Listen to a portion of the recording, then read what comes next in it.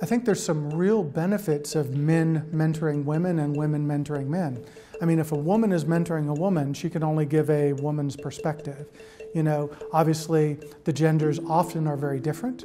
Each one brings a, a huge strength and probably some weaknesses. So often it is.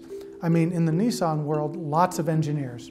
If you look at the number of women or percent of women graduating from engineering school, there's not enough women graduating from engineering school to mentor all the women that need to be mentored in engineering. So I think that's great. Men can bring a, a, real good perspective.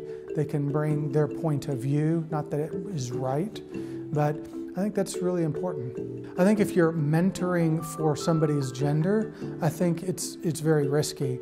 I think what is what is the, what is their strengths and their weaknesses. So you can have a lady that's very logical, uh, and a man that's very emotional. You can have, you know, somebody who's very detailed or big picture. So that, that's what I think you need to be uh, mentoring them towards. It's where do they want to go? What are their strengths and weaknesses? Where are those gaps?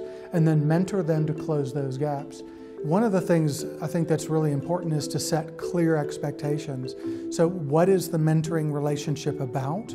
What's appropriate? What's not appropriate?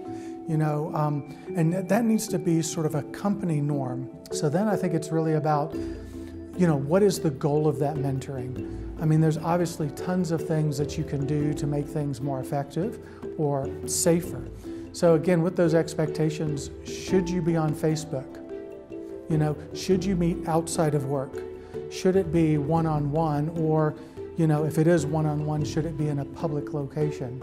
So I think that really depends on the company, what their goals are, um, the country, what those standards are, and so forth.